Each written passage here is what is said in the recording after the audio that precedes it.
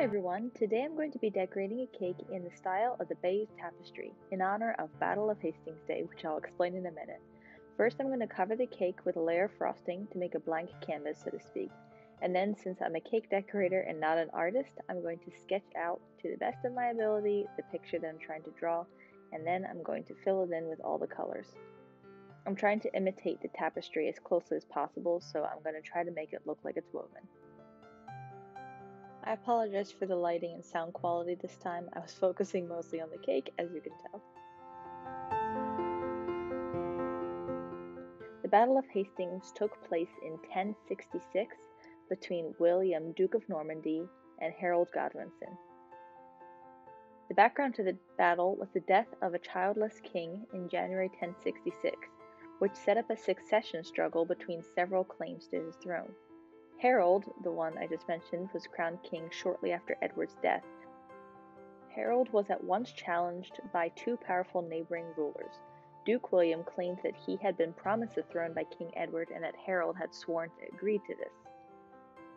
The other king of Norway also contested the succession. His claim to the throne was based on an agreement between his predecessor and the earlier king of England. Then invaded, and then the Battle of Hastings took place. Unfortunately, Harold Godwinson was shot in the eye with an arrow and died. The Bayeux Tapestry is a tapestry depicting the Norman conquest, including the Battle of Hastings.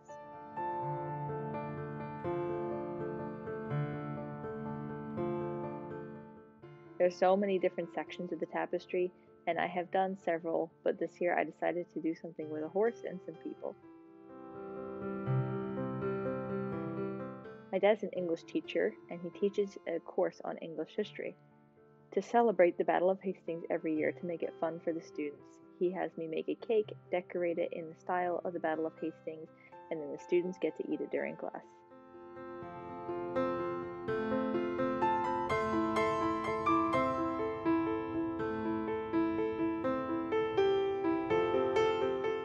The Battle of Hastings took place on October 14, 1066.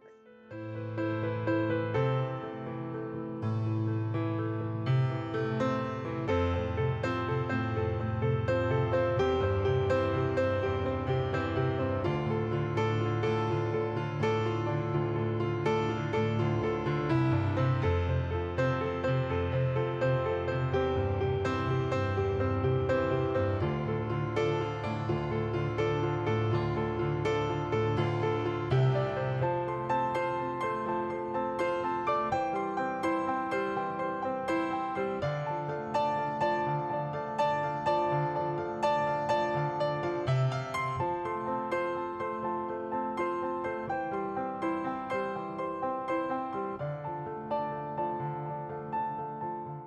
At this point, I'm going to take a little break and just kind of show you how messy I actually am behind the scenes.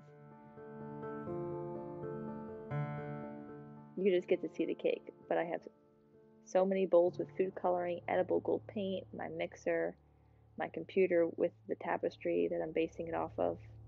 So at this point, I added in some color details and then I'm going to add some edible gold paint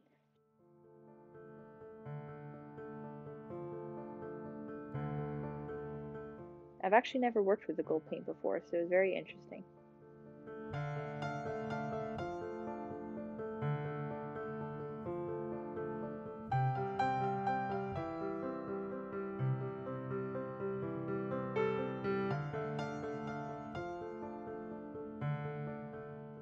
Here's the final product, and then I'm going to put a picture of the Bayeux tapestry in just so you can compare the two. Thanks for watching, and I will see you next week.